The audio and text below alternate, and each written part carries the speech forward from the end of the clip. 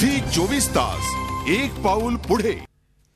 बातमी वाढत्या पाऱ्याबाबतची गेल्या काही दिवसांपासून विदर्भात तापमान सातत्यानं वाढतंय. आज नागपूरचं तापमान सेहेचाळीस पॉईंट सात डिग्री सेल्सिअसपर्यंत गेलंय.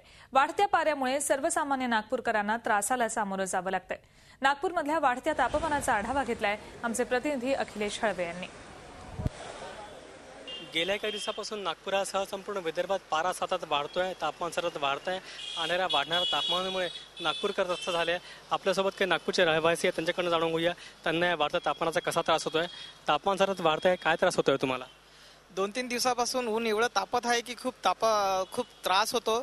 शरीर असं तापल्यासारखं वाटतोय आणि मळमळ वाटतोय. तर आम्ही घरून सकाळीच निघत्या वेळेस माठातला आम्ही थंडा पाणी पितो आणि नाश्ता जेवण करून सणारी आम्ही निघतोय.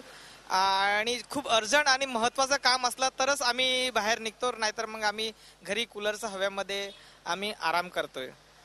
आणि आपल्यासोबत अजून काही नागपूरकर त्यांच्याकडनं जाणून घेऊया.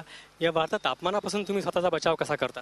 मी साधारणतः इतकं तापमान वाढलेलं आहे का तो बचाव करण्यासाठी सगळ्यात पहिलं आम्ही घरून निघतो आणि संपूर्ण फुल कपडे घालतो गॉगल घालतो. त्याच्यानंतर डोक्याला आणि चेहऱ्याला पूर्ण स्कार्फने बांधून घेतो. त्याच्यानंतर सोबत आल्यानंतर जेवढे कामं केल्यानंतर एखाद्या शांत ठिकाणी थांबून त्यानंतर सायंकाळी लिंबू पाणी नारळाचं पाणी कोल्ड्रिंक्स असं वगैरे घेऊन आम्ही स्वतःचा बचाव करायचा प्रयत्न करतो. आणि होतापर्यंत जिथे अर्जंट काम असेल तरच आम्ही बाहेर निघतो अन्यथा सगळं घरूनच कामं करण्याचा प्रयत्न करतो तर आपण ऐकलं की वाढत्या तापमानाचा नागपूरकरांनी धसका घेतला आणि दिवसा बाहेर निघायला कोणी धजावत नाही.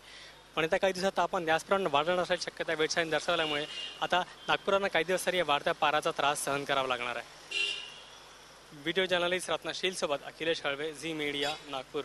झी चोवीस तास एक पाऊल पुढे.